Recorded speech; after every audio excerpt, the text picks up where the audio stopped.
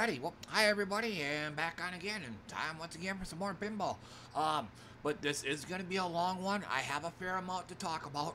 So, yeah, so the big one being, um, if anybody caught my any of my earlier streams, I once I once said that um, management was talking about putting me back on putting me back on my old 8 p.m. to 7 a.m. schedule.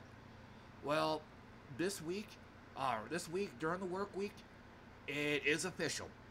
So, uh, management told me that for for the uh, starting at the new starting at the new schedule they had just made, um, I am back on 8 p.m. to say to 7 a.m. So that will and um that's gonna be I think in about three weeks from now. So what this means is um my um my start time for my streams is gonna get pushed back from 9 p.m. to uh, probably 7 p.m.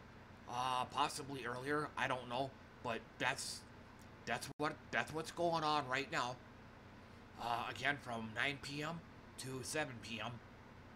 So just I like um I like starting my streams right around the time that I start uh, that I start heading out the door for work.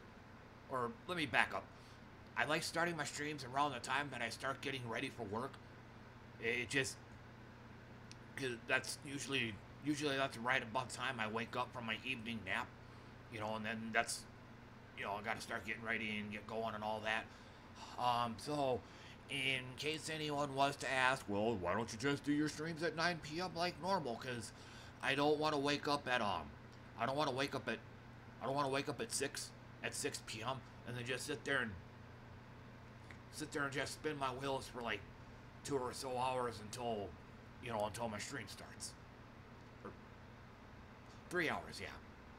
I don't want to sit there and fiddle fart around for three hours until 9 p.m. and then start my stream. I would rather just, I mean, when I get up, I want to get going.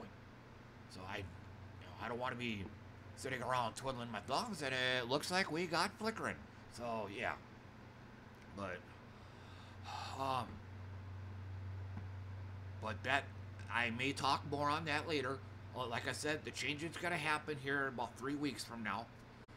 Um,